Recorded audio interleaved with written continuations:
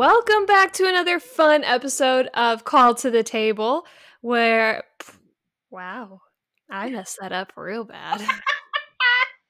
No, you didn't. It's another fun episode of Called to the Table. We are a goofy group of podcasters who just love talking about Jesus and all the things that he encompasses, that being our big round earth. I'm Liv, and I am currently in a state of crazy, crazy delirium. I'm John, and I want to poke Olivia with a stick. As long as it's six feet, John. As long as it's six feet. I'll do it with a 10 foot pole. I'm not the Grinch. Hush. 49 and a half football. Oh gosh. I'm Jordan and I have a headache because I have been in meetings from nine till three o'clock this afternoon. So it's I'm been a- Caroline and I hate math because I've been tutoring a student and I I I was BSing functioning notation whatever. We were basically guessing at the whole thing and between the You two of us we got to work on her her math stuff for school. It it was hate it. Absolutely hate it. I can only stand about 2 hours at a time. My goodness. You math people out there who like it's your life. You you are so so left-brained. Like it it's incredible. It's absolutely incredible that that can sustain you and give you life while it's just like a vampire for me. Okay, my rant is over. Go ahead. It's okay. You're allowed to have your rants. Meanwhile, you English people, how can you always be right when there's always an exception to the rule? Oh, go John. But a real English major will say that there is always an exception to the rule, That's so true. we're My not always right. all right. the time. But So with math, it's always 1 plus 1 equals 2. Unless you're in base 2, then 1 plus 1 equals 10. Would you shush? Stop! Stop saying math. That you're gonna give me a worse headache. Okay. So today I like math, people. You do I like, like math, math. You don't. You don't like history. People live. No. I like math. I like science. I like art. I don't like history. I don't like English. And I don't like foreign languages because they're hard. Because if I can't have, speak like one English, crossover live. It's oh, art. oh, you know, I like art stuff. That's actually been with the kiddos that we've been talking about. That's been the generalized thing is they want less reading and writing and more science. It's fun. You get to blow stuff up. So oh, today we are talking about something that I think a lot of people will think that we've already talked about, but I'm going to kind of clarify as we do this. So we're actually talking about maintaining positive mental health, and this is almost like a part two to the one that we did in February. We talked about mental illness. So y'all, I want to bring it to you. What is the difference between just general mental health and a mental illness or condition? well, according to the uh, Canadian Mental Health Association, Woo. BC division, when, and I'm quoting their article because I looked it up because I wanted to make sure that I gave an educational standpoint because I do, I do love talking about this. And, and again, like part one of this, I aspire to be a therapist and a psychologist. So I'm, I'm really excited uh, to talk more about this. But it says, and I quote, when we talk about mental health, we are talking about our mental well being, our emotions, our thoughts and feelings, our ability to solve problems and overcome difficulties, our social connections, and our understanding of the world around us. The next little paragraph says a mental illness is a illness that affects the way people think, feel, behave, or interact with others. There are different there are many different mental illnesses and they have different symptoms that impact people's lives in different ways. And quite honestly, that's how I would personally probably sum that up myself is mental health is just the the overall well-being of our mental state whereas mental illness has an effect on our overall self. Yeah, I agree with that. What about you, John?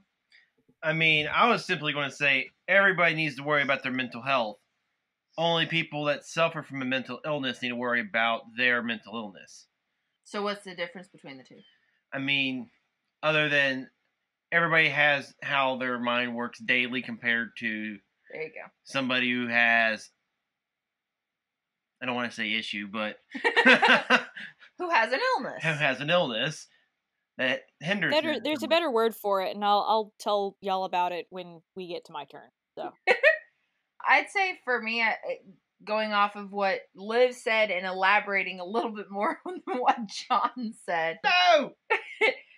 I think just I look at it as like a physical thing. So you have to upkeep your physical health on a day-to-day basis. That means eating correctly, although we don't always do that. Getting exercise, stuff like that because because it prevents you from getting physically ill. It's the same thing for mental health and mental illness. There are things that you need to do to upkeep your mental health and how you're able to process stuff during the day, which is what Liv said so that it's not something that turns into a habit, which is something that can turn into an illness. So yeah, that's what I would say. Caroline, Okay, so fancy term that I learned on the internet, that being there are neurotypicals and neurodivergents. And I know a lot of times uh, people who are on the autism spectrum or uh, people who have other uh, types of, I mean, I'm just going to say neurodivergency, uh, use that to identify their condition as not as much an illness, but sort of it, just sort of where they are in life, even if they do take medications and that sort of thing. And so I think what we're talking about is there are people who they already have that neurodivergency in their brain, and it's a condition that they have to deal with all the time, which I know is what John was talking about. But then we have people on the neurotypical spectrum who are uh dealing with something that is sort of a I don't want to just say it's a temporary upset because I mean I know that's what this quarantine is, but still, uh, I don't want it to sound so tiny, you know, insipid, whatever.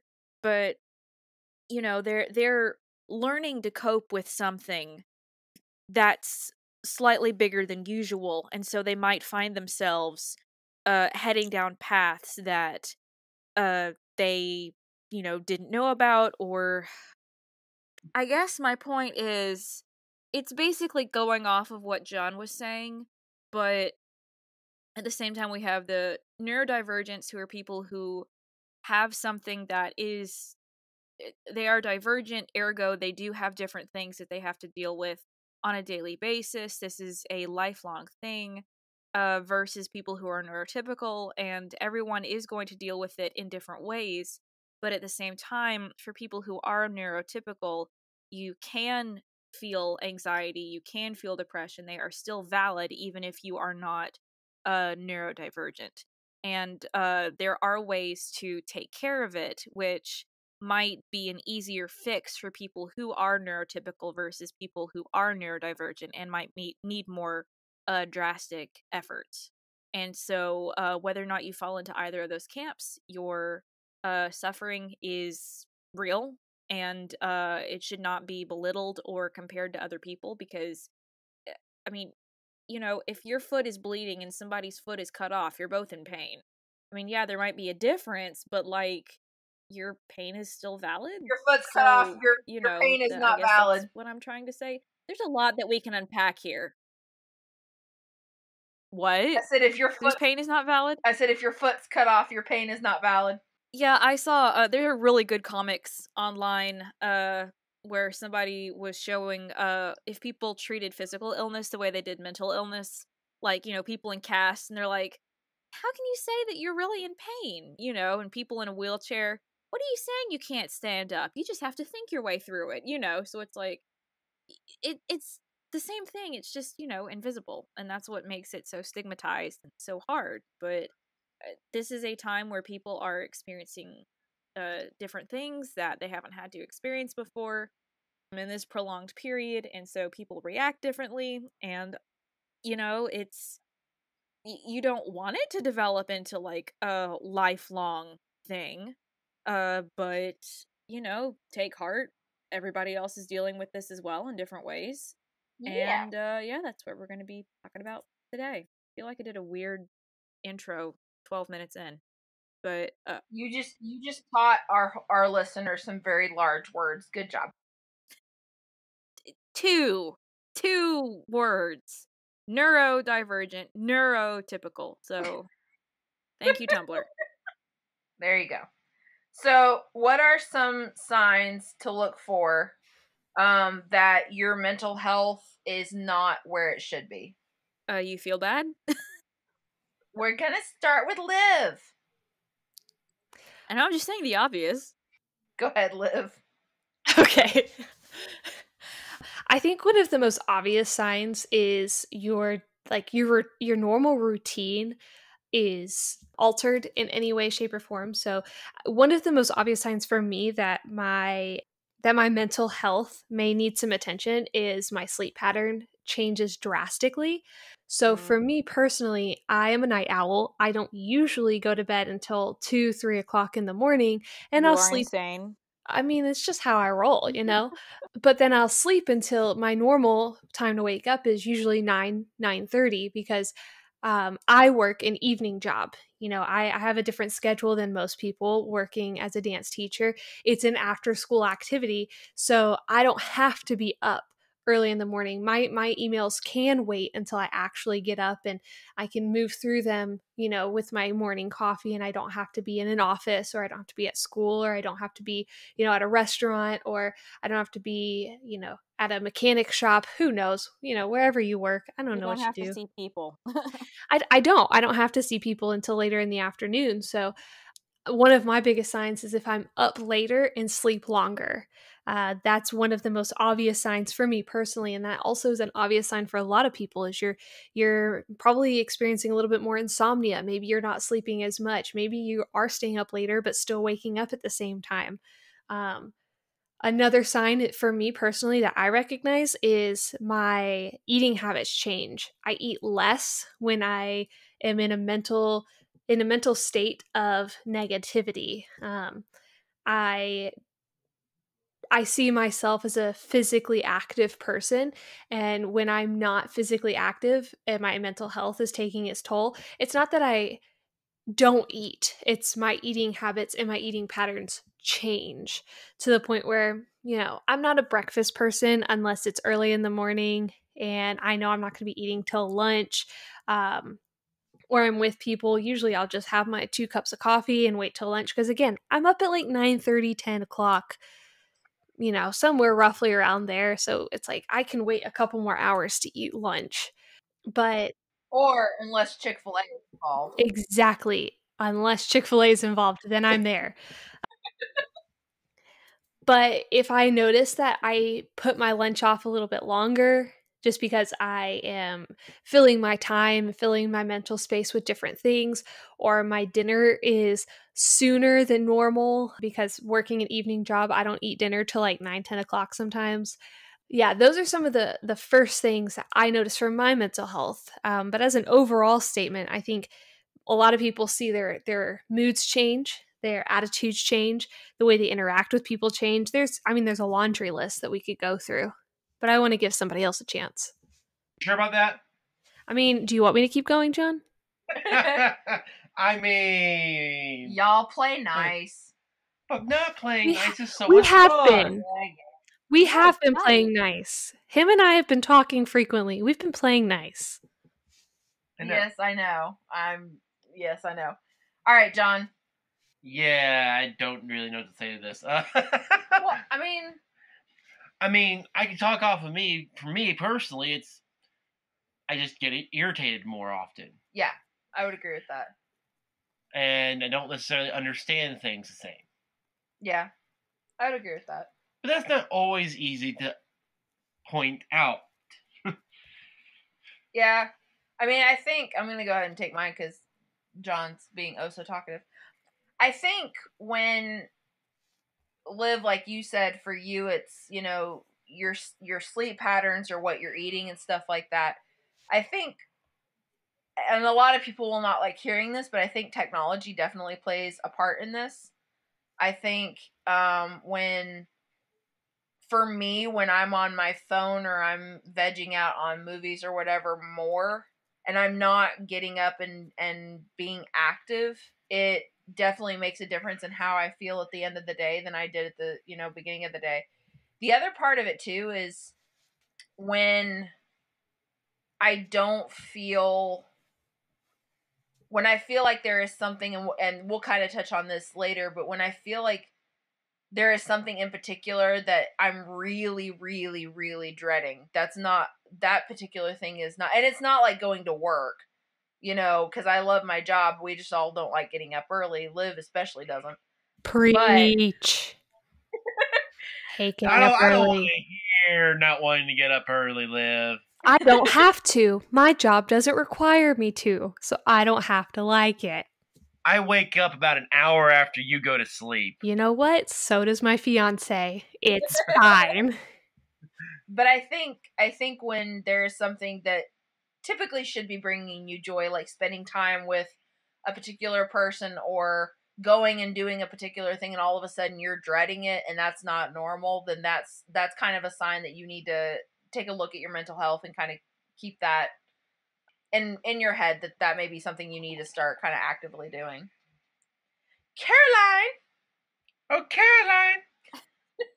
I uh 100% agree um that uh you the more in tune you are with your body the better and I don't mean that you need to be like ridiculously introspective but definitely aware of uh if your patterns change are they for the good or are they uh not? Um how how are they making you feel uh after you maybe spend uh, like are you going to say oh i spent too long doing that but then you keep doing that and then you notice that you're feeling bad like you don't want to find yourself in habits that are going to uh keep you in a bad place for a long time you know you don't want something that could be temporary to stay with you and i mean going off of my own well I mean, I do consider myself neurodivergent because my serotonin levels are stupid. It's like my body just, my body is dumb. What can I say? Uh, my genes are dumb. Your genes are not dumb. Your Yeah, body is not dumb. You, it, yes, I look. I, I, it's nice to, it's nice to be able to blame part of it on, you know, my. It, it's just the way my brain was wired, and some people's brains were just wired differently, and or you know, just anyway. yeah, but that doesn't uh, mean but- it's dumb. That just means you're wired differently.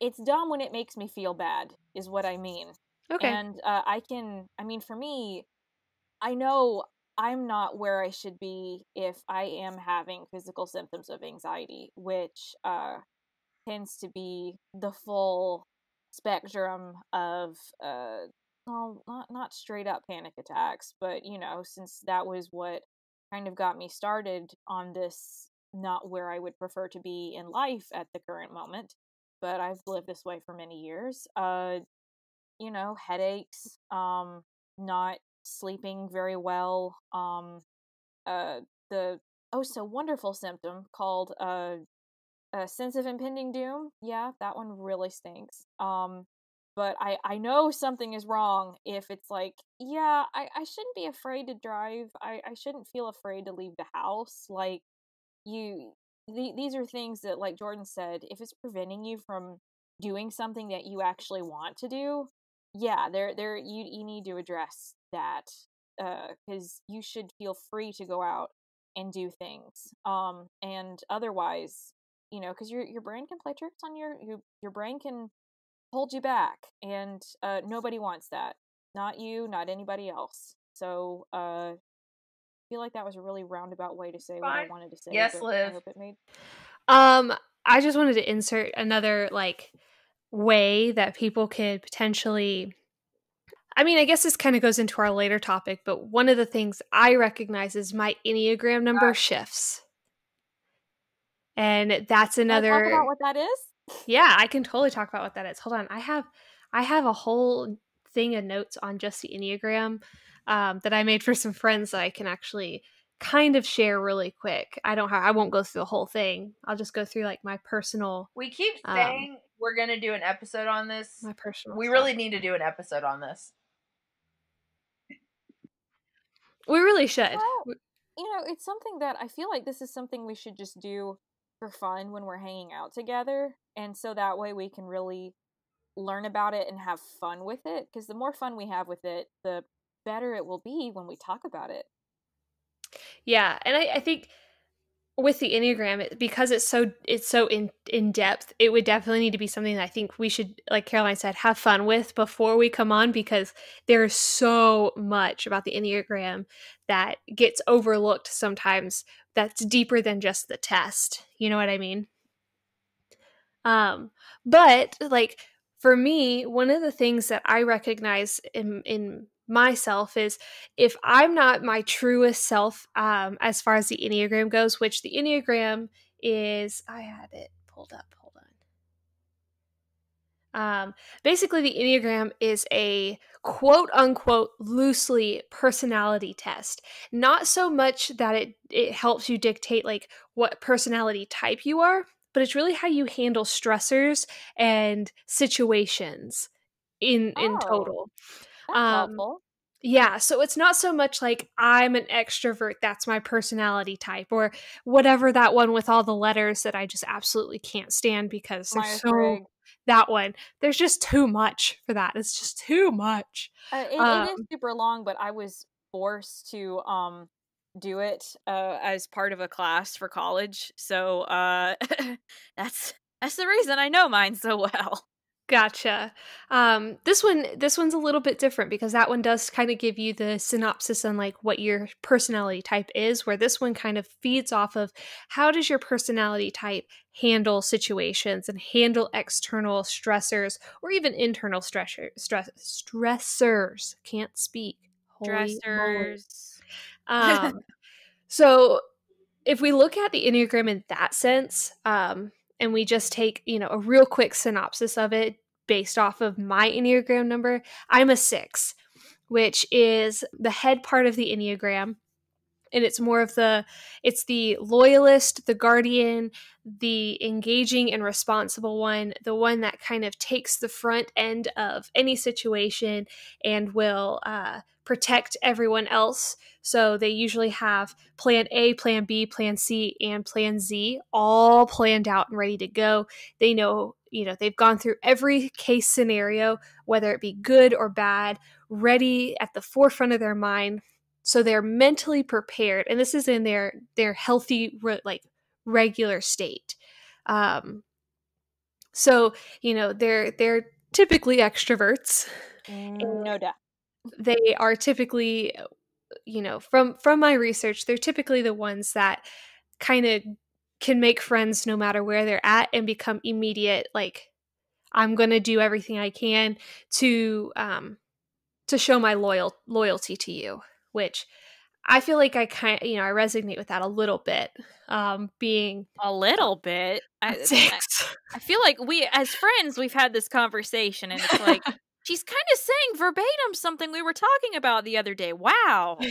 yeah um but uh, every enneagram number has a regressive and a progressive uh, way of handling situations and most places you'll see it's considered a relaxed or unhealthy situation so if an enneagram 6 is met with a situation that is extremely relaxed. There's something that they're very comfortable in. It's not something that's like super super super stressful. Um you're you'll see them kind of graduate or gravitate towards a, a nine which is more receptive and agreeable uh, kind of go with the flow you know oh i'll do whatever anyone else wants to do. I'm totally down for whatever um, type of personality because it's not something that they feel like they have to protect everyone around so they can really let their guard down and be like i'm happy with whatever makes everybody else happy.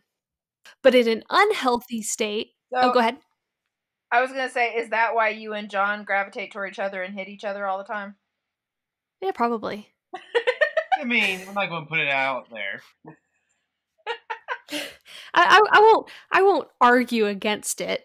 I need to know his enneagram number to really understand. I would Um, need to know my enneagram number too. So Yeah. But then you also have the unhealthy states. That's the stressors. That's the part that creates that mental unhealthiness and and the things that really get that person worked up. And for a 6, they usually tend to gravitate towards a 3, which if a 6 is gravitating unhealthily towards a 3, they have a relentless work schedule and are constantly anxious because an unhealthy um, Enneagram 3 tends to be the achiever and the successor, meaning they will do everything in their power to make sure that they are pleasing and protecting everyone around them. Um, being that you know they're extremely anxious all the time they will think of every worst case scenario they will they will worry themselves to death to make sure that everyone around them is protected no matter what situation comes to bat come to be so it, take it in the sense of COVID 19. When that started, my immediate reaction was how can I make sure my students, my friends, my family feel safe? What is the best thing I can do? Because typically I would make this kind of situation an unhealthy situation in my brain, leading me down an unhealthy mental state. Um, because I would worry i'd stay up all night thinking okay how how can i make this money last? How can i make sure my family feels safe with if i have to do x y and z if i have to go to work if i have to go here? How can i best support my fiance who is now working from home? Um, so that's one of the things the enneagram has really taught me is taking the taking my personality type in the sense of a mental health standpoint and the way I handle situations when I start seeing myself gravitate to I'm working overtime to the max. I am loading up my schedule when I shouldn't have to too much. I am anxious about my work my income my well-being about my family and I'm not taking enough time to center in on myself yeah, I'm probably leaning towards a three. I'm in an unhealthy mental state.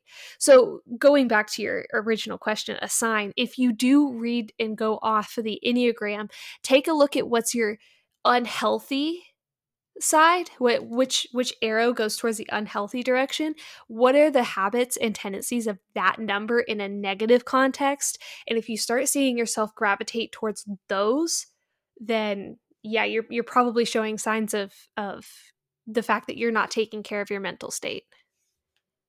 Wrong. I have so much more about Enneagram. I have a whole PowerPoint. I'm not joking. I have a whole well, PowerPoint. that's why we keep saying we need to do a whole episode on it. I th- I think that's a fantastic idea. June. We'll do it. I think that would be great. I think that'd be a great way to start yeah. off the June. Um, after next week, maybe we do it yeah. after next the week. The June, not just June, the, the June. June. Not to be confused with a June, yeah. but the June. Um, the the test is quite long, and if if you know, real quick, I'm gonna plug the Enneagram test that I take, or I've taken. I've taken it twice, um, just because I wanted to make sure. Because some some tests are really are really shallow, you want to take the test if if you're going a free route you want to take the test that has the most questions because um, you want to make sure you're really getting the best um, results because it's going to ask you basically the same question nine or ten times to see how you react to the way that question is formulated and it bases your results off of how you respond and what selections you make based off of the wording of the question more so than what you respond. It's really kind of cool. Um, I would do the. Uh, this one's. Where's the one I usually do? This is it. I usually take the Eclectic Energies Enneagram test. Um, it's on eclecticenergies.com backslash Enneagram backslash test. It's free. Um, yeah, and if that's not one like that you like, backdoor psychic thing. I'm sorry, electric energy. Well, and if if that's not, you know, everyone should look up and maybe take it take the test on more than one site just to see if the cohesiveness goes together. But, you know, I can also you know, on our on our episode I can go through each enneagram in a short synopsis and what wings mean, what unhealthy and healthy means. You know, there's there's a lot and that has going back to the main topic, that has really helped me center myself in stressful situations. I wish I had known about this back when I was in Houston for Hurricane Harvey. I think I would have handled that situation Yeah. so much more healthily than I did then. If I had known Yeah. what my Enneagram tendencies were. So, um, before we go on to our next two points, Liv, do we have any questions? Um, let me check real quick. Okay. Because, you know, homegirls gotta check. Okay. No, you're not allowed. John, I almost sent you a text that had the had a had an emoji. Use your imagination. Use your imagination. Um, currently we do not, but I'm gonna keep keep an eye out on it. okay, and while we are kind of pause between the between our topics, I or we want to do a shout out to Caroline because by the time this episode comes out, it will have been her birthday. Oh, I was about to say, Woo! wait, what are we celebrating? Happy What? birthday! um so she didn't know we were going to do this so um i just wanted to give a shout out or we wanted to give a shout out to caroline and say happy birthday To you. Happy birthday! Do And on the next one, it's going to be a shout out to Jordan. Woohoo! that's right my birthday is coming up so i'm excited me and caroline our parent there was a great quote that i saw one time and i think it describes me and caroline perfectly and it said the reason we are best friends is because god knew neither one of our parents could handle us being sisters and i think all my all my friends that i have i think it defines that perfectly It's because God knew I couldn't handle having a sibling to begin with. So yeah. so um yeah we just wanted to say happy birthday Happy birthday! Happy birthday! Almost 30. and then maybe I'll remember my age at one point. you're definitely gonna remember your age after 30 because i'm throwing you a bomb 30th birthday All right. um so going on to the to the next point what um so we've kind of talked about like daily stuff and and liv you talked about the enneagram a little bit and kind of how you react to situations but what happens when your mental health is not good consistently but only at certain times? And we've kind of touched on this a little bit but what what do you do when it's a consistent thing but it's not all the time. So like we talked about with a mental illness, it's you know, it springs up at random times. There's really no quote unquote consistency with it. What happens when it is consistently there's there's something besides just, you know, one day you're having a not good mental health day. Yeah, my first reaction to that particular question would be if it's if you find yourself kind of in a constant loop of situational mental health being negative, there are a couple things that I would suggest someone do. First, reach out to somebody you trust and be like, "Hey, this is how I'm feeling. This is kind of how I'm reacting to it, and it's been consistent for X amount of days and keep track of it. Um, but I'm going to get to that in a second. Um, and ask them, like, ask them point blank, have you noticed a difference uh, in in the way I handle situations, the way I'm reacting, or um, having a reaction to external stressors? Like, is there something different that you've noticed? Because one of the really crazy things is people that you're close to will pick up on it, sometimes even faster than you can pick up on it Mm-hmm. you know just just throwing it out there Y'all um know by the tone of my voice, and that annoys me sometimes to Liv, no end. Liv can pick it up by just looking Yeah, at me a lot and- of times. She knows if I'm not doing well. i can also tell through the way you text jordan That's that's true. I do text differently. I, I hate to break it Yes, to you. she does. And then she then she'll text differently for no reason and scare the crap out of me. oh that's fun yeah. Because she'll do things that she'll only do when she's upset. And then it's like, Are you upset? She's like, No, I'm not upset. Why do you think that? Well, you're doing this. You do this when you're upset. right yeah and i mean i think everyone has a has a tell when it comes to their mental health and if something is becoming more consistent and is kind of snowballing into further and further depth um, whether it be you know negative or harmful. Um, and I think it's important to be able to reach out to somebody you trust, whether it be a parent, a colleague, a friend, a sibling, you know, just somebody you you trust that will give you that full, blunt honesty, but know when it's the appropriate time. You know what I'm saying? Because like Absolutely. I wouldn't just come out and say, "Hey, Jordan, you're acting different." Like that would just probably make it a lot worse.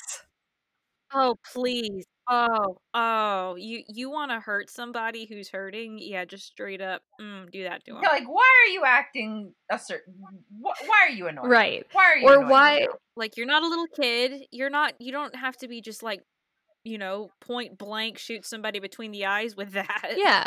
But like using terms like, "Hey, how are you doing? Hey, how you holding up?" You know, little little things, little ways of starting a conversation with that individual to kind of not poke at it, but open up the door and saying like, "Hey, I'm I'm I'm genuinely asking you.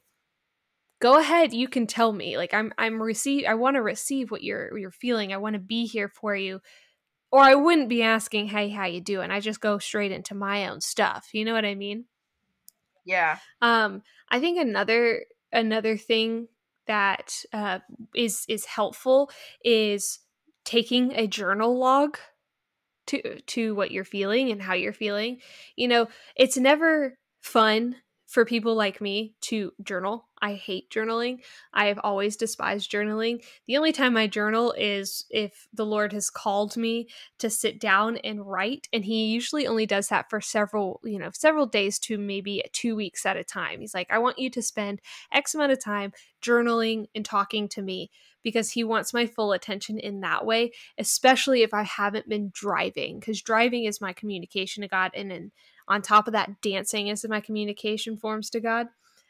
So if I haven't been doing those, like he's been calling me to journal recently. So I spend a couple of minutes every night just writing out how I'm feeling, you know, talking to God, being like, you know, I notice this, I notice this, or God, what's going on? Or just even like, today, this is what my day looked like. I ate Chipotle, period. That's it.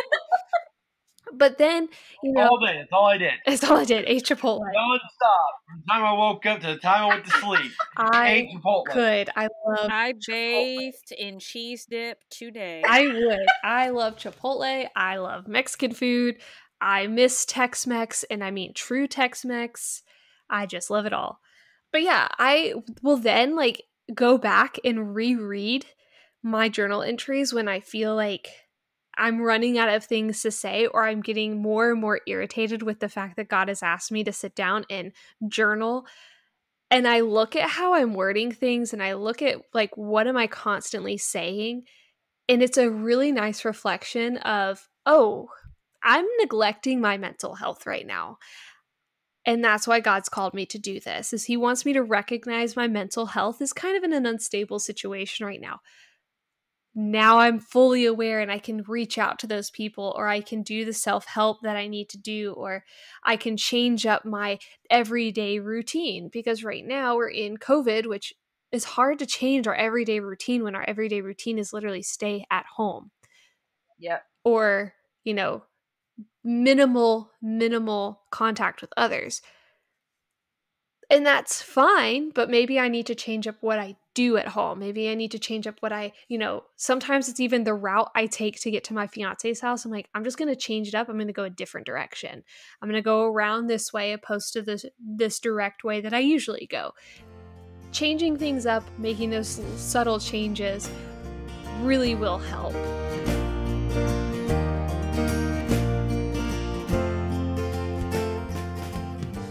guys, Caroline here with a huge shout out to all first responders all over the world. Whether you're in a hospital or urgent care center or running deliveries for stores and restaurants, Called to the Table salutes your bravery and heroism in this crazy time of need. For those of us in different situations, let's continue to do our part by social distancing and sanitizing so we can beat this thing into the ground as one united force. That's all I've got for today. Bye, guys.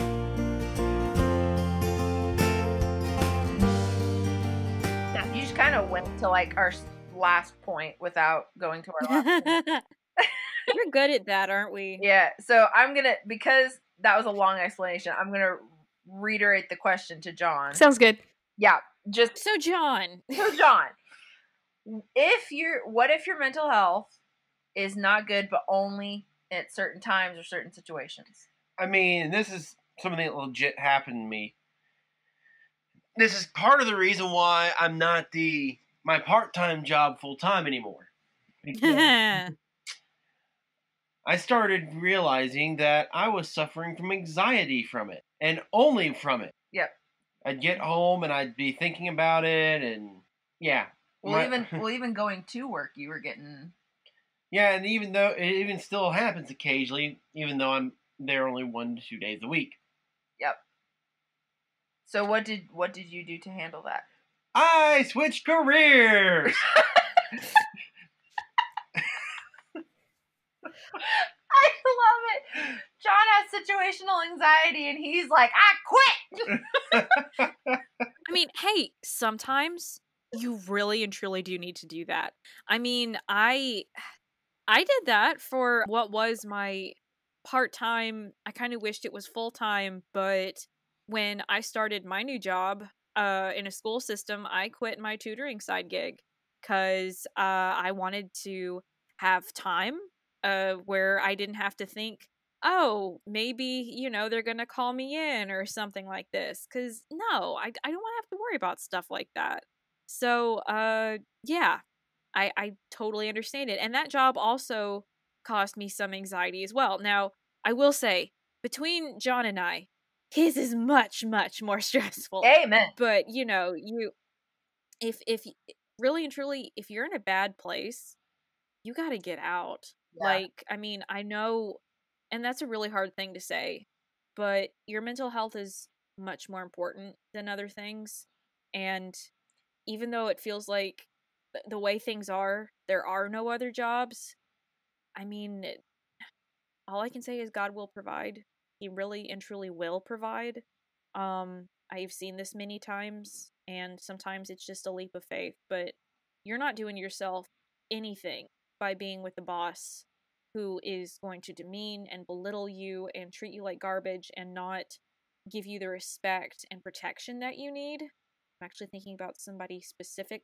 who a family member is dealing with but uh yeah and that family member is leaving that place by the way. Woohoo! so yeah a little bit of context is mine. Caroline, it was years for me to actually make that move for those reasons of needed the money. And Oh, I know. I took a pay cut when I switched. So I mean, I, I know I'm- it was years. I'm, I'm letting you, you were I'm still- letting everyone well, else no. know. No, you were no. I'm sorry. I know that sometimes it's like, yeah, we're recording a conversation, but sometimes I'm like, oh, we're just having a conversation. Oh wait.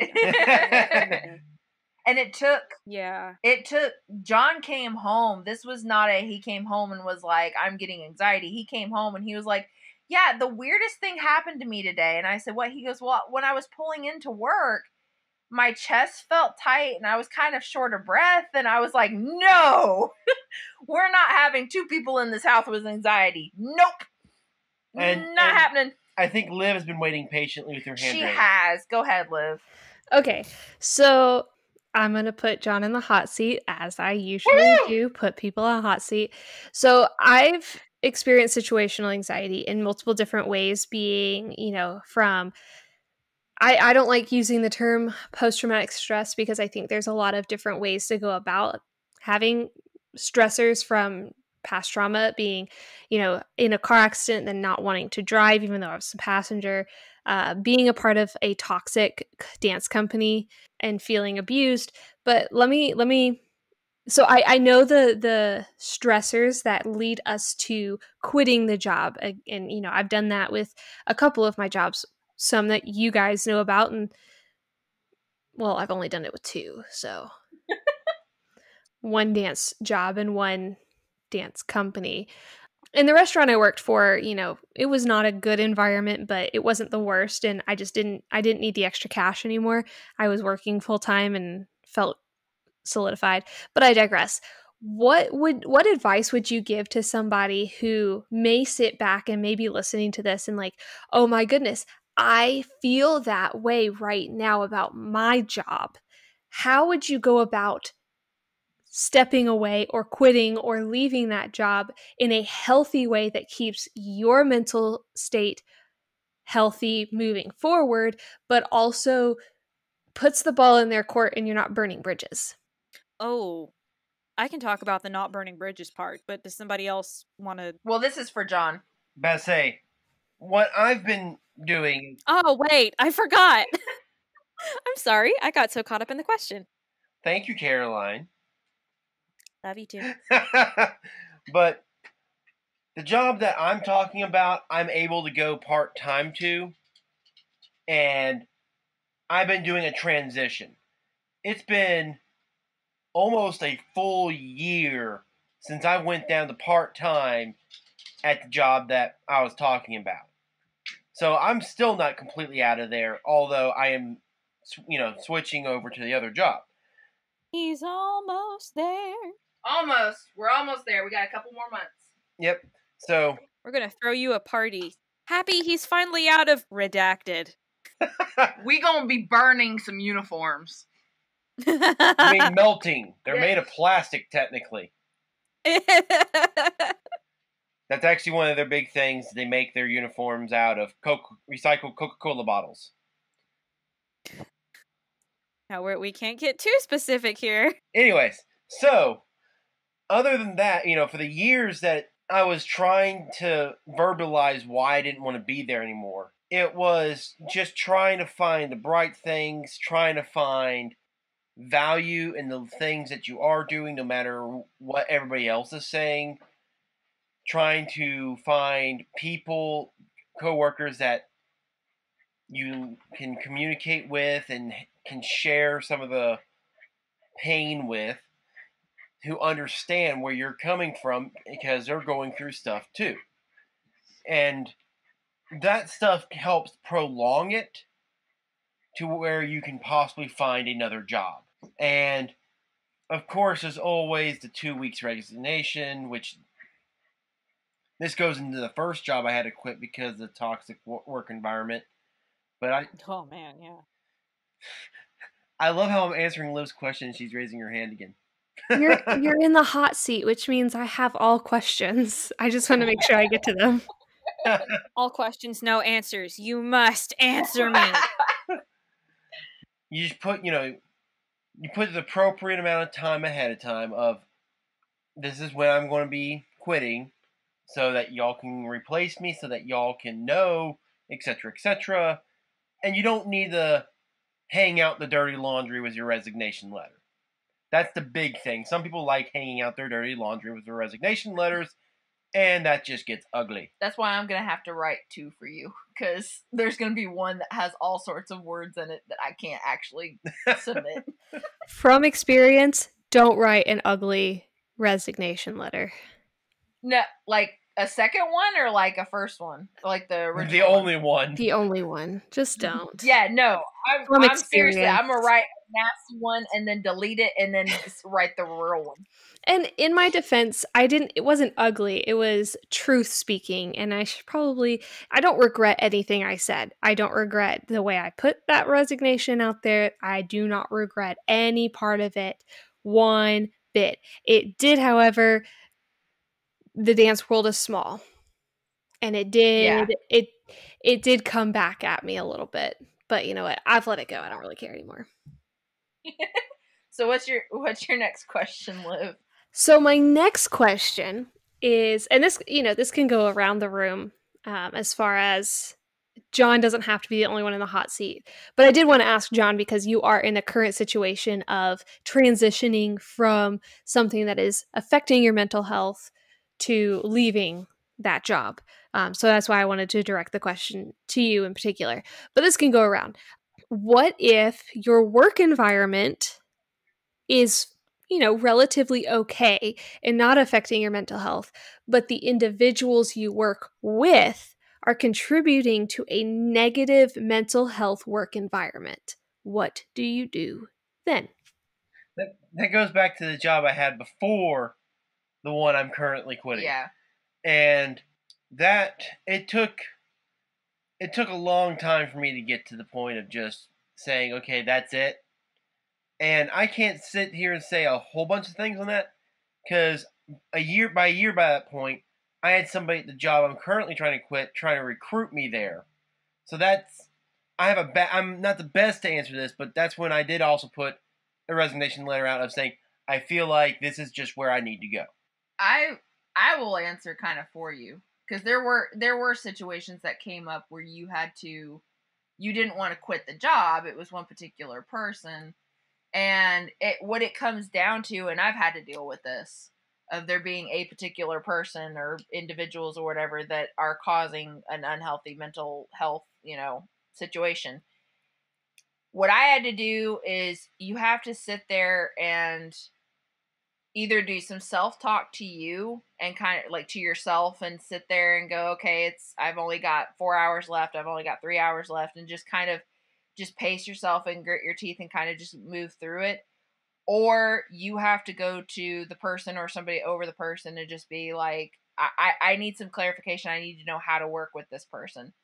Where the situation I'm at, it was somebody who was superior to me, who was over me that I I really, really appreciated and I liked talking to as an individual, but their working style clashed with my working style. And so I would get consistently frustrated because they just didn't have the same work style that I did. And what I had to do was go and find people who had similar frustrations and just vent. And that's that's all it came down to was just being able to get those emotions out without write you know writing a nasty resignation letter or whatever and just and john kind of had to do the same way where it was just being able to come home and call me and vent and just be able to get that anger out and to be validated that yes you have a reason to be upset but yes you still have a job to do.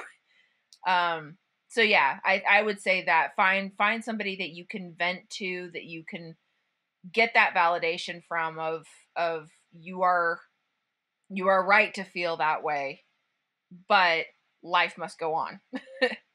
that would be the best thing I would say. I don't know if anybody else wants to add anything. Can I talk about burning bridges? Sure. Burn the bridges down. No. No, Don't do that. no, in this case. No, not She's at a all. witch. Burn Um, her. Of course, Monty Python. uh, no, uh, this was a case where I feel like I I had many reasons why it would have been okay for me to burn bridges with this person. Um, because uh, just the the this was my like very first job out of uh college, and it was a restaurant, and uh that person. I, I mean, I know for a fact now that uh she underpaid me for uh work and I mean she did that for everyone but still uh just bad not not the best work environment um she wouldn't listen to other people when they were telling her no we shouldn't be doing this.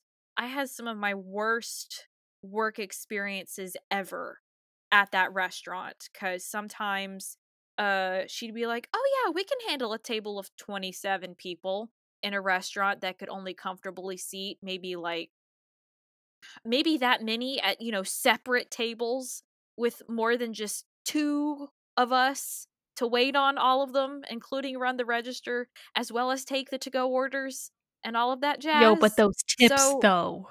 Those tips no, with 20 no no no no no no no no Best no no no let me. No, no, no, you don't understand, Liv. She she didn't have a gratuity that was tacked on already. So they were free to leave whatever they left.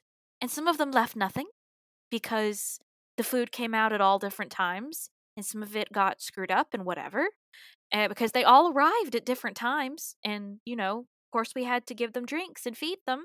And some of them gave them yeah, some of them gave us, if I can speak tonight, less than a dollar and I, I wanted to cry like so hard i mean she she had things that other restaurants you know it's like well duh we're supposed to do this no no she she wouldn't do it.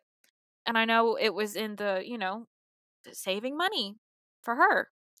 But you know it's like please don't don't mess us up just because of your poor business habits. But I this was God because I I probably would have burned a bridge with her uh, at one point because there there were times when I genuinely was like, this is the worst night I have ever had to work anywhere because we were so understaffed. Some people would just, and when I say people, I mean uh, employees would just leave, just straight up leave out the door. But then again, one of them was also stealing from us, so you know, having him gone was not a big deal, except it was one of the milk and bread runs at Kroger for everybody. And so it was literally just me and the boss doing everything with like one person cooking, which was an absolute nightmare. So, like I said, I had every reason to. But I was dear friends, still am dear friends, with a guy who works there who uh happens to be her ex-husband. I know it's weird, but she she did him dirty. He he is a wonderful wonderful person. But anyway, uh she has uh, two sons, one of whom is uh in elementary school right now. And thanks to my intervening because he was already at like a Christian pre-K that was very close to their house. I mean, less than 5 minutes away is also my church and my church's school. I was like, "Well, why don't you just put him there?" You know, we have a really great church school and I know for a fact that little that little boy has had a huge impact on that family. I mean, they told a story in church about how he received I don't know how he got the money.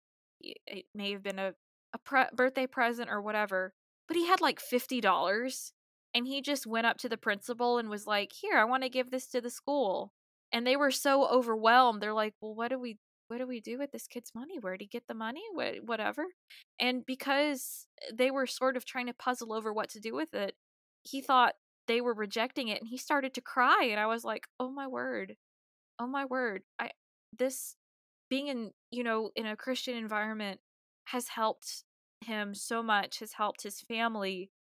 I am so glad I didn't burn those bridges because it it's a good reminder that God wants everyone to be saved. Just because someone is being a jerk to you, someone is absolutely blind to how they're treating other people and the messes that they put other people in doesn't mean that God says, okay, you can give up on this person, which is really hard to do when you're in the middle of all of that crap. But I am so thankful because of what has happened, you know, in the past that this is where we are now. And I have a good relationship with her. Sometimes she asks me to, I mean, she'll pay me. You know, it's like, hey, can you do some artwork for me on the outside of the restaurant? Can you uh help me talk to this company about doing some designs that I want? And I do it. she gives me free food. And I'm I mean, that's a big bonus, but you know, it's like yeah, she still she still has done a lot of questionable life choices, but I am very happy that they are still in our lives because I, I'm just happy that I, I'm praying that that little boy has such an impact on that family. Because, like I said, God wants everyone to be saved. It's really humbling to be able to see someone have that kind of turnaround because it makes you think, I can't just have this black and white mentality, even though I do feel like I've been hurt. I know I have been. I know I've been taken advantage of a lot. But God wants everyone, which means that sometimes you have to suck it up and go, I, I shouldn't burn this bridge because who knows where, what it'll happen in the future. You know, maybe you'll have a positive impact on that person. And wh- why burn a bridge? Because then, you know, that'll be their last Mm. memory of you. So, Imagine if God burned the bridge with Saul. Yeah, yeah, see? See that that's exactly who I was thinking. I was thinking of Saul and I cannot brain who was the first Christian martyr guys. Don't ask me. I can't brain. Um, um, oh gosh, I almost wanted to say Simon. I'm pretty sure that's Does it wrong. start with a No, hold on. Well, the well the first Christian I'm martyr. gonna Hey, while you're looking hey. it up, Liv. Oh, Stephen, Steven. Stephen, Okay. Stephen. Darn it, I just pulled it up.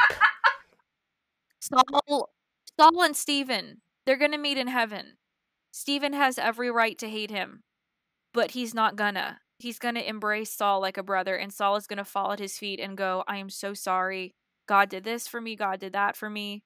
Uh, everything that Saul did in his life, he's not even going to be thinking about that. He's just going to be thinking about how he hurt that person, and they're going to repair that relationship. Yep. So, Liv, you had a question. Boom. Go. Yes, I'm. I'm going back to hot seat moment for a second. So, Caroline, I completely agree with a lot of the things you said. I worked at a, re- a restaurant that I feel if I reported them to the Better Business Bureau, something would happen. But I do also see and feel like the Lord has, you know, without burning that bridge, the Lord has opened up an opportunity for, you know, worst case scenarios. I can go back.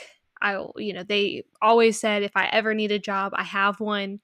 I've seen a lot of things that the Lord has done throughout that. I have a friend who is also in my bridal party that I've seen, you know, just through interactions with me, is going back and questioning more positively about our faith. So I just want to I wanted to say that and encourage you like yeah, restaurant business is is tough, but it's really cool to see that see the Lord kind of work through that. My question is going back to, you know, coworkers we talked a little bit more i've talked about what if coworkers are bringing in an unhealthy mental state but what if friendships are becoming a stressor on our mental health what what if a friendship that we're trying so hard to maintain and work towards is actually contributing neg- negatively to our mental health so is this for everybody or is this specifically for caroline this is for everybody. This this question is for everybody, and the follow up so question is for everybody. I'm I'm gonna take it here because we have had, or I have had friends that have been in my life and very actively in my life, and then there was a falling out, and we did not talk. And I would say, as somebody who has gone through that a couple of different times, the best thing, the best advice that I can give is if you have a friend that's being toxic, take some time away from them. And you don't even have to tell them, just take some time away from them. Um, not meanly, I mean, but but to do some reflecting and see if it's something that you're doing or if it's something in particular that they're doing.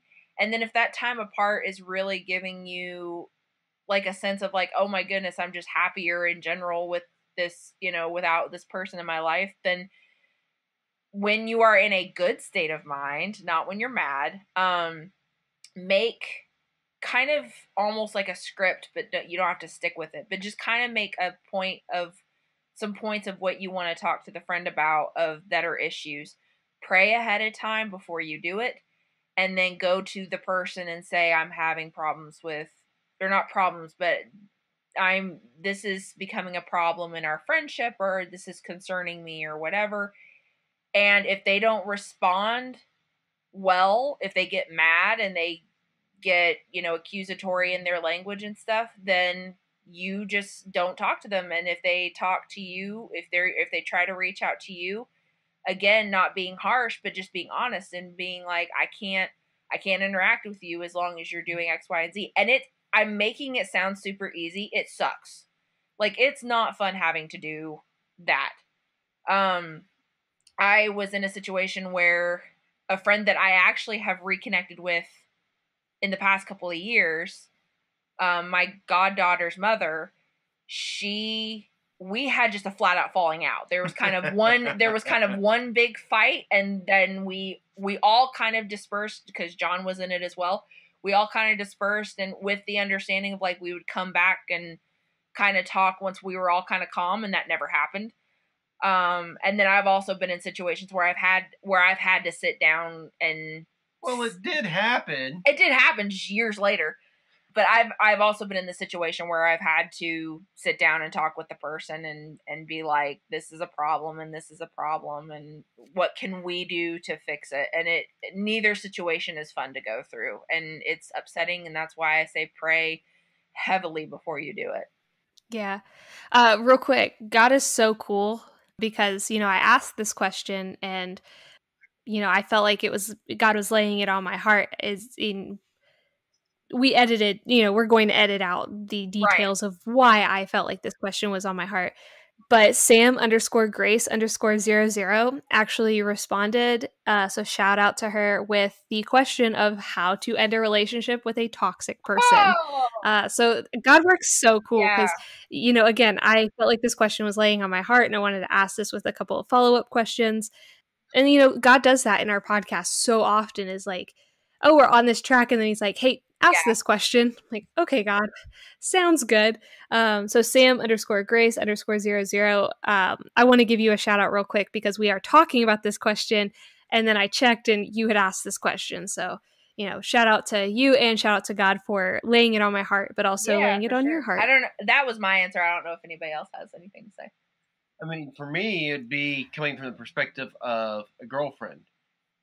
Because you know a bit about this the uh, girlfriend I had before Jordan, she was very me centered, as in like her self centered. Self centered. She was very self centered, and very manipulating, and had a family that was very manipulating also, and not not like her extended family, but like just her mom and siblings, and very vindictive. Yes, and the time I took away going on a family vacation. Really, I mean, I talked to her several times about changing stuff to where you know to help the relationship. I already saw the writing on the wall and try to you know fix the relationship also. And it took that time being away from everything for two weeks, just about. Yeah. And it was like, okay, yeah, I just can't keep going, and I just had to end it immediately when I thought it. And I know it's not the best way to end a relationship as over text message, but that's how I end up having to do it. But sometimes, I mean, you need to do that because you know if you get on the phone and you start trying to talk to the person, you're going to start yelling. Well, actually, it started off as a phone call. Okay. And it ended up with her not being able to hear me over her crying. See, or that. But I don't like remembering details from that girlfriend. Yeah, well. I was in a different time zone at the t- current period of time. Yeah, so. whatever. whatever. Caroline, do you have anything else to add? I was that toxic friend once. And it's hard being told by somebody that you care about that you're I'm not going to say that you're not good for them, but that you know what you're doing is hurting someone else. And for me, a perfectionist, a people pleaser, that was incredibly hard because uh, it was very easy for me because it's very easy for me to see things in black and white. I saw myself as an unredeemable bad guy at that point, and it just made everything worse because that's not what my friend was telling me. Now, we did not have a falling out at all we have stayed friends. I wish we lived closer, but she lives all the way in Wisconsin and can't do nothing about I that. Mean...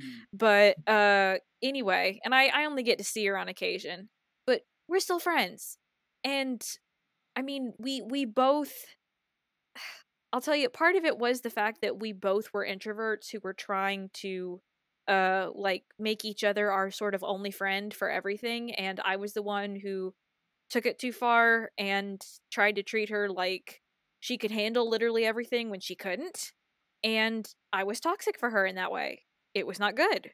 I was also not a good roommate to the other two people that I lived with my senior year because I didn't know how to live with that many other people in a house that was not my own. And uh, I'm not saying I was like a terrible person or anything, like I wasn't having screaming matches or whatever, but you know, being inconsiderate about cleaning up some things or uh, just the way things were.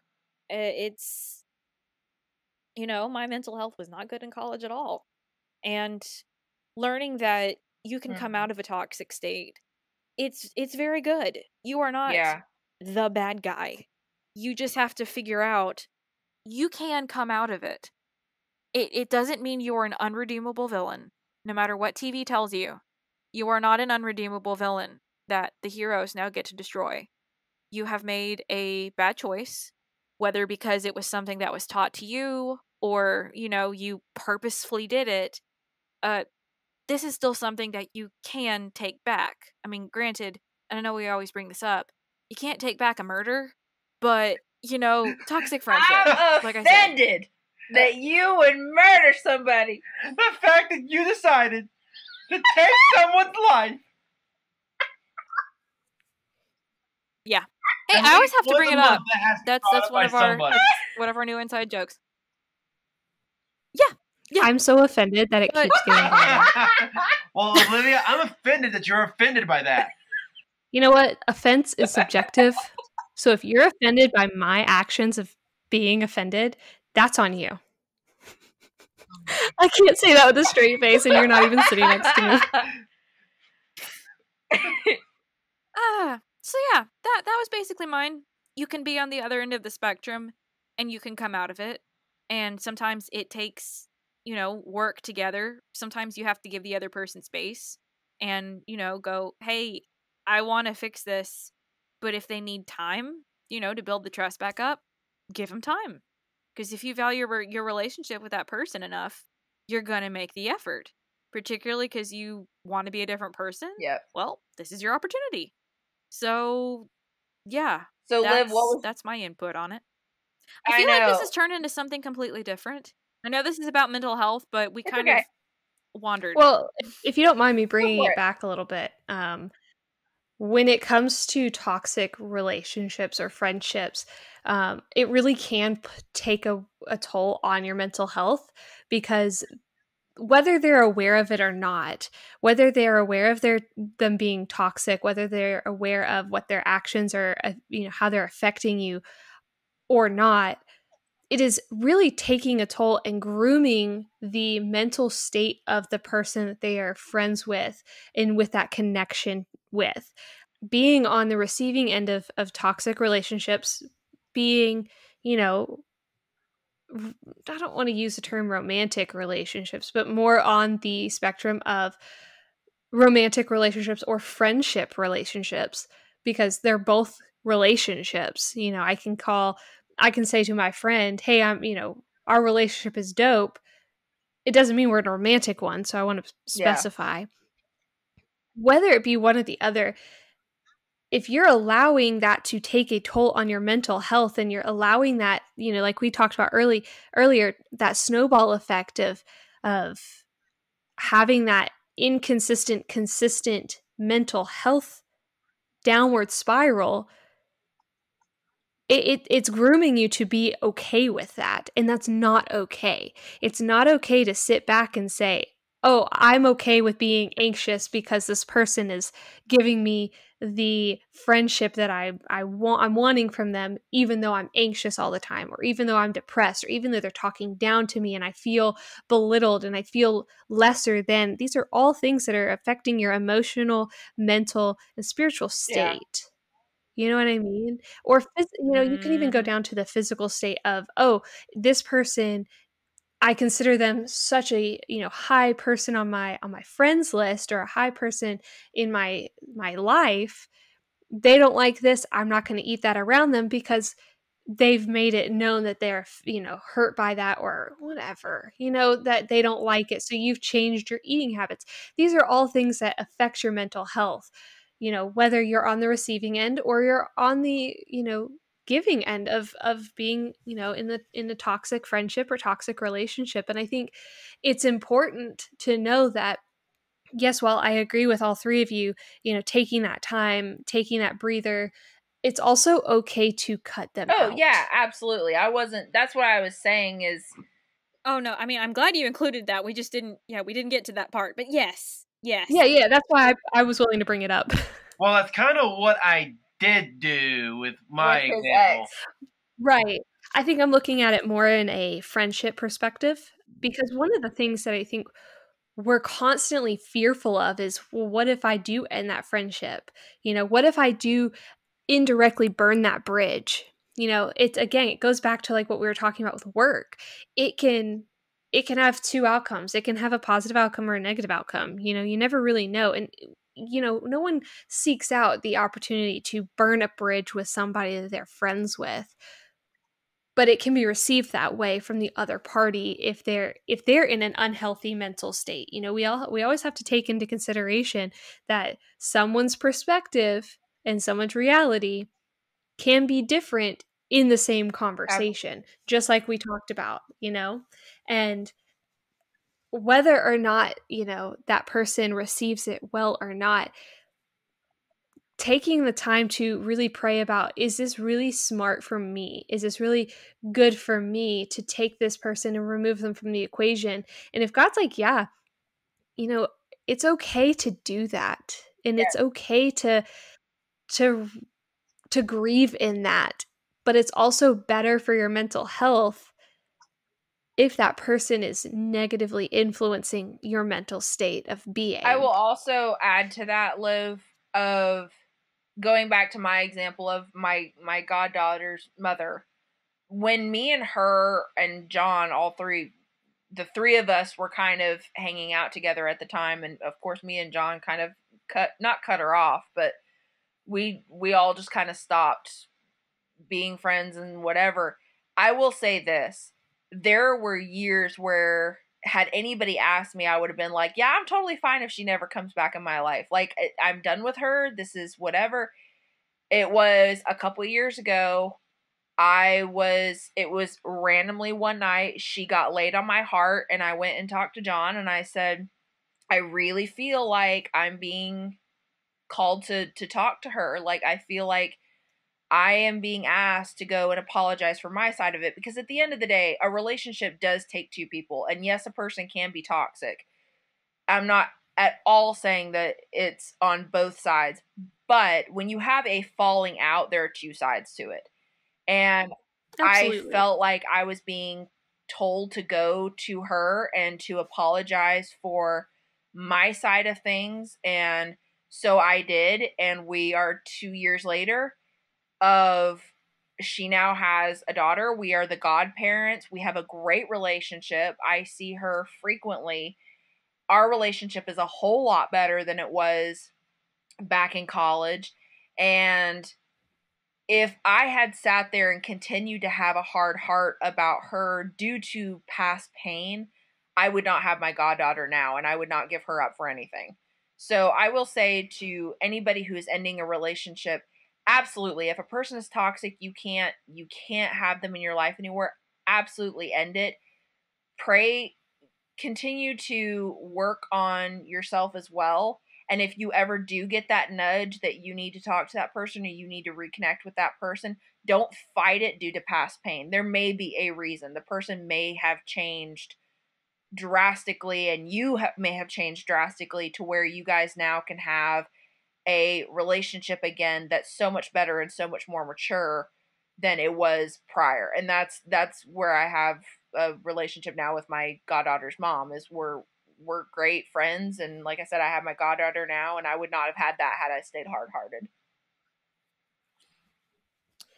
Yeah. And that transitions me into my second part of you know not just sam's question but you know my original question. Yep. you know say you've recovered from that mental health block that that that unhealthy state. And god's laying it on your heart to reach out to the to that individual. What would you suggest be the best best method?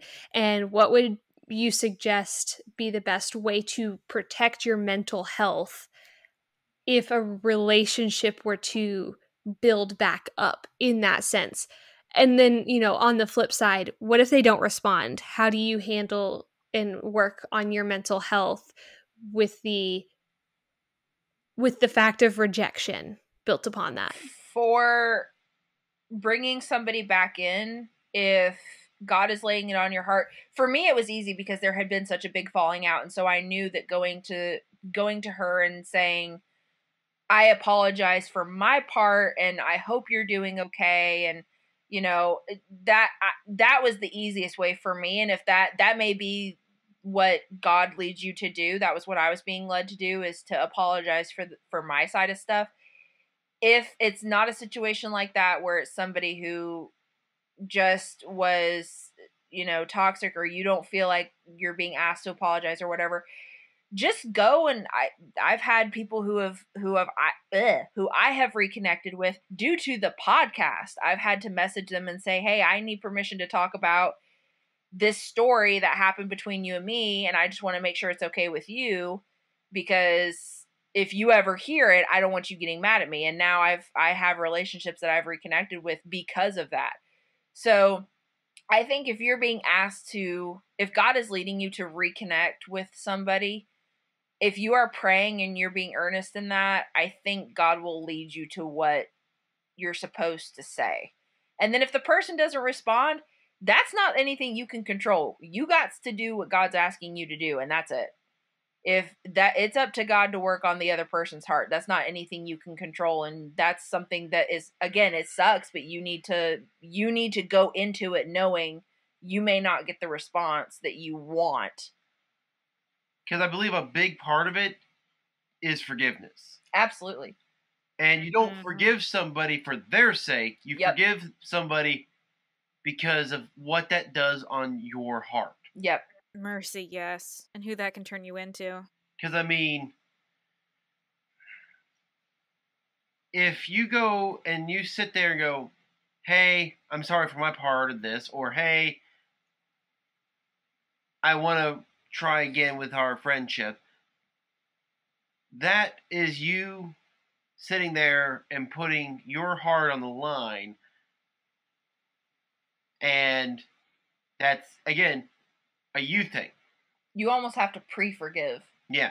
And, you know, the story of a man, God telling a man to go out and push a boulder comes to mind, where God, you know, a guy gets told by God to go out and push a boulder. And he does this every single day, rain or shine, snow or sleet, for years. And he eventually just goes, God, I can't move this boulder. Why am I pushing this boulder? And it's because you have gotten stronger. Take a look at yourself. Yeah. You have developed muscles. You have developed persistence. You have developed determination and willpower it wasn't to move the boulder. It yeah. was to improve you. Yeah. I agree. And Caroline, you and I on a less uh drastic level have kind of had to go through this with our friendship where we both have said stuff to each other that has been hurtful or that has been um, negative, and you and I have had to kind of sit there and process stuff on our own and forgive each other on our own before we but go. that's kind of like friendship, regular stuff, though. Okay, who took their earphones out? Do what? I'm suddenly hearing myself played back. Oh, I don't know. Nothing's changed. Huh. I don't like that. Uh, but I I felt like that was just more I don't know, regular stuff. I mean, that's why I said on a on a less drastic level. We have going off of what John said with the forgiveness. We have had to sit there and end it like forgive each other away from each other before we go and talk about it together. I don't know if this mm-hmm. answered Liv's question. I mean, yeah, it does. I mean, I think forgiveness is a huge. I'm hearing myself. Hold on. Okay. Yeah, I think forgiveness is a huge aspect of recovering in mental health. I'm going to just insert really quick. Uh, I think if you feel like the Lord is calling you to reach out to that person that has damaged your mental well-being and damaged you in some way that has caused you in a in a negative way to have mental health issues um, to go in with a softened heart but a strong mind. Yes. Make sure that you are in a position mentally where you are willing to combat any attack of the enemy or any re- reoccurring habits that might that person might still have because everyone's growth is different and everyone's development is different and if that person while god has asked you to reach out that person may have not changed very much and that maybe they haven't re you know really rediscovered themselves and kind of redefined their their mental st- mental state and their heart you have to be prepared for any attack that you might receive and you might have to be prepared for any reoccurring habits that might happen you know? And if that's the case you need a strong mind but also having a softened heart which forgiveness kind of falls into you know? And um, in my experience you know with friendships falling out um, i've learned that you know college friends that i've had falling outs with that i've rediscovered and redefined friendships with i've had a stronger mind and a softened heart because you know maybe they didn't know what they were doing. Maybe they just needed that attention and maybe they needed that focal point. Um, but also maybe god's just trying to soften your heart. You know maybe he's asking you hey, I want you to reach out to this person, or hey, I want you to just pray for this person. And that's something that I've discovered recently is I've had reoccurring dreams and I've had to evaluate them and be like, God, what are you asking of me? And all he said was, I want you to pray and have a softened heart. Because you never know what that person's going through in that moment. That's all. I gotcha. So real quick before we Concluded. before we let John do his radio voice, I'm not doing my radio voice. just real quick, go around the circle and just say um, what are some suggestions that you have for people to improve their daily, just day to day mental health to keep it positive consistently. Obviously, there are factors that can affect that, but um, especially now during COVID, what what would you uh, suggest? Go, Liv, go. Pray, give yourself grace, and talk to somebody. Liv and I have had to do that with each other. it's been great. JG, what about you? I would add sleep to that. but Just- not but not too much sleep. Not too much, but add enough, you know, enough sleep. Not all of us can still get enough sleep, but that's, you know, You know, some of us don't have the opportunity to stay up till three and wake up at 10. yeah, some of us have to, you know, be waking up at like three. I would say get sunlight at some point in your day. Go out go out and get sunlight because it majorly, majorly affects your mood. That's what I would. No, I'm a vampire. Caroline, what about you? I mean, uh, talking to somebody else for uh, their perspective, and and going to them and going, "Is this normal?" I- mean, it's it's so helpful because if you stay inside your whole own head for so long, you won't realize exactly what you know normal is. You know, unless you've bounced it off not just one person, but maybe several people, several people that you trust. Um, and again, giving. I mean, I feel like you guys already, you already took all the good answers. but that's essentially. I mean, that's essentially it. You know, get out of your own head. That's mine There we go. because you know sometimes I your mean- head can be the worst prison you'll ever be in. Also, changing your routine is great. Or even better yet, changing your weekly like food. I found that I if I experiment with one new recipe a week, I feel totally different. That's a good idea. Less mundane. Gotcha. Yeah, or get Yeah, because I can eat the same food every single day. Like I can eat Chipotle, Chick Fil A, uh, anything that's chicken related, spaghetti, all the time. I'm Italian. It's okay. I I but I I tried a new recipe, a new baking way of like making a cake for Mother's Day, and it was so much fun to experiment with something different. It was so fun. I would also say if you are able to get yourself just a little something special. I got out of the house today and got myself watermelon. I am so excited. I have a watermelon and it actually was a good one. So it, it it's a nice little boost. I came home and like ate almost a half of one. And it's still taking up a lot of our refrigerator. Shush. Nice. or play Animal Crossing. Play Animal Crossing. It will No! help. Not everyone can live. I love Animal Crossing, and if you love it too, send me your friend code. I have all the fruit. Oh goodness. All right, John. Le- oh, Liv, do you want to plug our um Twitter because I don't think John knows our No, I do not have that memorized. Yeah. That's okay. I will plug our Twitter. Uh, guys, if you are interested in seeing some fun, nerdy responses and some fun retweets of nerdy stuff and you just want to see a nerdy side of calls to the table head to our twitter because i run that which means it's all nerd stuff right now um, I also do some faith stuff. I do some Bible verses and whatnot. I'm trying to find some good ones to plug in. Um, but you can follow us on Twitter at call to the Cable. Wow, call to the Cable? Really? Really, Yes, yes, Olivia? cable. Learn how to You're on cable network now. We are I'm all on cable children my now. age called to the cable. I was called to the cable because I didn't have cable until I was eight. See, still I, I went from cable. antenna to dish.